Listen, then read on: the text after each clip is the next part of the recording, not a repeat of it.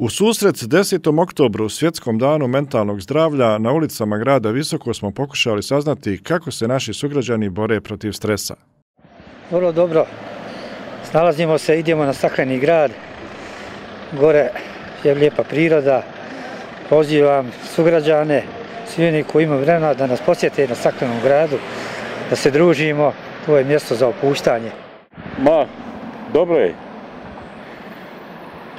borim se na neki način na to da ne utiče to na mene toliko. A ima situacija gdje stvarno ljudi osjećaju to. Ima li neki ritual, bježite li u šumu ili negdje kada ovako vas kriza uhvati ili nervoza ili nešto? Poslovi, malo šetnja i druga rekreacija, biciklizam. Ali ima posao radim i onda imam termine, utorkom, petkom, to me odmara. Sport? Sport, normalno, to je normalno.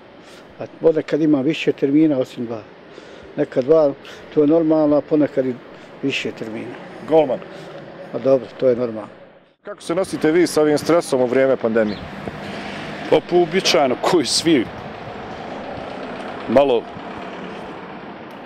hobi razumno da eto, nešto. Rekreacija? Pa i to pomalo. Šuma? Isto. Biciklo? Malo slabije. E, fotografija, to ja. Kantarijun, on je za stres, onaj čajevi, znači za stres, za depresiju, za, za, za, za mnoge ljekovite stvari što ja znam. Kako se vi nosite sa stresom u ova e, pandemijska vremena? Pa eto, malo teže, ali dobro je. Raja je malo nervozna, eto, ima svašta. Savjeti?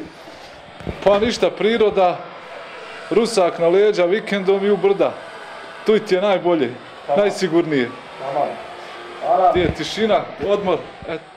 Jesenje ankete kada je sunca i dobrog raspoloženja malo manje su dale samo neke od savjeta. Zbog štetnih utjecaja na zdravlje, stres zahtjeva da mu se suprotstavi svakodnevno. Poznata je uzrečica da osmijeh ne košta ništa, a djeluje čudesno.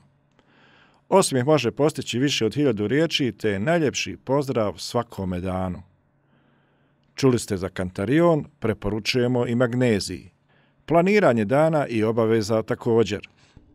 Na kraju imamo i antistresni park i antistresne staze koje je dr. Semir Osmanagić tako dobro osmislio.